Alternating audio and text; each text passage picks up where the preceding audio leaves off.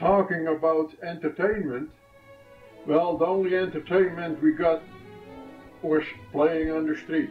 We were always a bunch of guys together, and uh, you did all kinds of game, kind of uh, baseball. We had the whole street for that because uh, there was no traffic anyway. In the middle of the street, at certain distances, were uh, kind of uh, manholes for the sewer. Well, those things we made our bases for baseball. And a pitcher didn't exist. You had to throw your own ball up, and then with a stick or whatever you had handy, you just give it a bang and uh, see what happened. Cost a lot of windows, but uh, people were uh, pretty good at that, you know. Uh, you had to pay for it, of course, but it was all taken care of. Other place, well, I don't know how they call that here. Hide and seek it was, the hide and seek places were abundant there. The houses, you could uh, go in through the doors, you came into the hallways, and you always could walk up to the fourth floor where the stories of the people were. That was kind of uh, free country.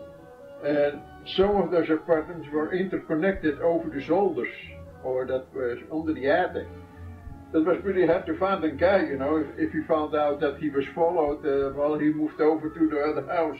So one play of hide and seek could take for a couple hours. Other things, and especially for boys, which I actually shouldn't mention, but uh, I thought it was a funny thing. If you had a couple boys together, three, four, or half a dozen, had them came, the farthest urinate on the street.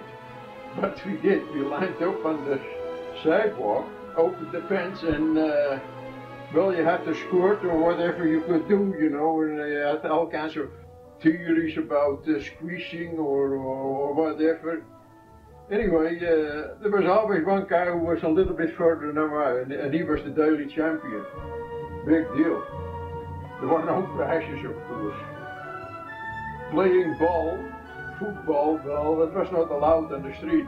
We did it anyway, but who had the ball? Well, you had a lucky guy in, uh, he had picked up a tennis ball somewhere, you know, by the rich people, uh, where they had uh, tennis fields.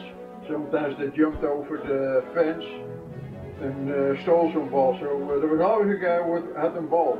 If he didn't have a ball, well, an old pile of new, old newspaper everybody had. And a piece of string was always available somewhere. So we made a ball from paper, string around it, and away we went. That was our ball. Didn't cost anything, but we had a lot of fun. When I got older, after school, you know, uh, well, you didn't do those things anymore, and uh, I was kind of a uh, loner. I was always by myself at that time, and uh, I just went from one neighborhood to the other, just walk the street and uh, look at stores, and uh, it's past the time, and we, we didn't do any harm. I did a lot of walking. At the weekends, I had a few uncles and aunts who were living oh, about hour, hour and a half walk from our place. And what we did. Sometimes I went with one of my sisters and sometimes I went alone.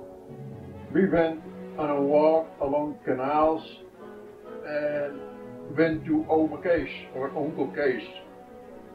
I was an old man, but he was a good-hearted guy, you know, quiet, smoking a pipe, and he was living on the third floor, and they had a parrot and the parrot could talk a little bit. So what we did, we sat beside the parrot and talked to him a little bit.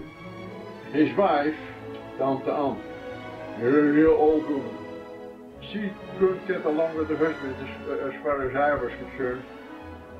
We were waiting until she went to the kitchen to make a cup of tea for us.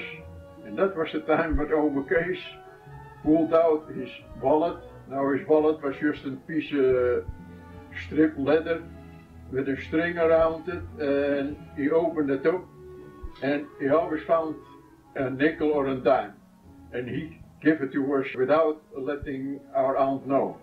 That dime was meant to go back with the tram But who the hell, if you had money in your pocket, you, one uh, going to spend it on, on a trip and a streetcar.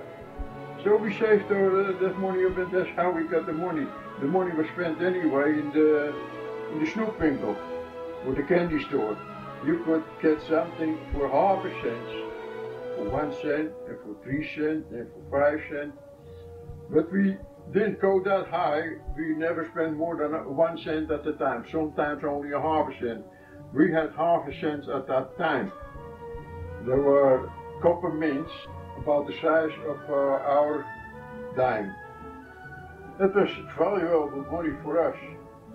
That take care of our entertainment when we were, uh, well, in our younger years, say between 10 and 15 years old. At that time I was working already and uh, it was the custom in our family that whatever you made a money you had to lay on the table at home and 10% of it that was your pocket money. Now my first money was $2.50 so every day I got a quarter. Well, that took care of me that every day I could spend just about five cents, you know, and in the end of the week I was broke. But afterwards it was better when I got a raise. Uh, I was making 350, so I got 35 cents. So every day I could spend a nickel. You could do quite a bit, and big chocolate bar for five cents, and all kinds of candies. But we were happy and we were satisfied. We were well fed and well clothed by mom and dad. They took care of us pretty good.